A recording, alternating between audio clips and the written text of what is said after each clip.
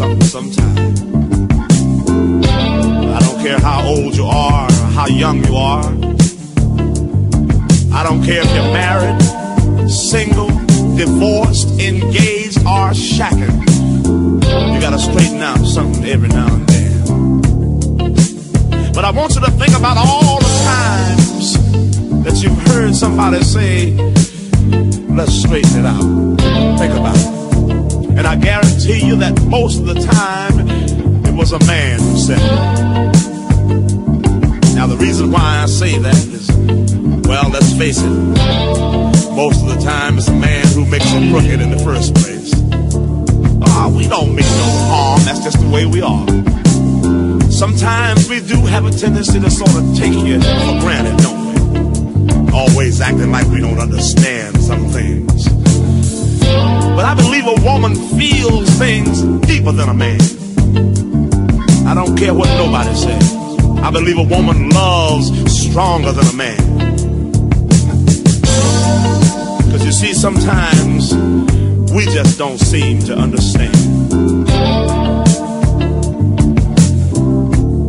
I know because you see, I'm speaking from experience. Because I came home one day my woman was just going all around the house, not having very much to say. And I was kind of puzzled. I didn't know what to do. So I looked her straight in the eye and I said, Sit yourself down, girl, and talk to me. And tell me what's on your mind.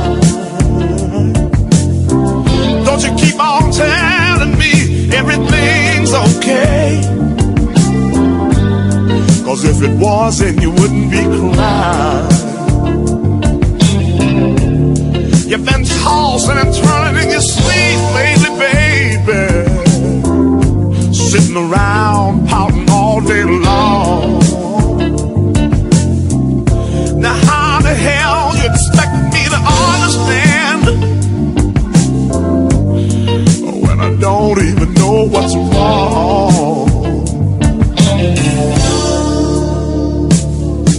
Let's straighten it out,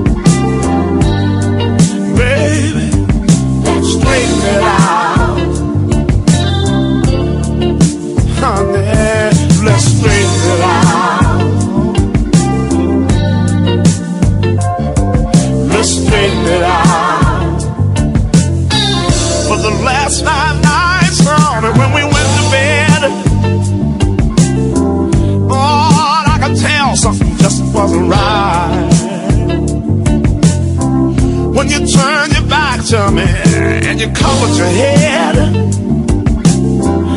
oh, you didn't even say goodnight.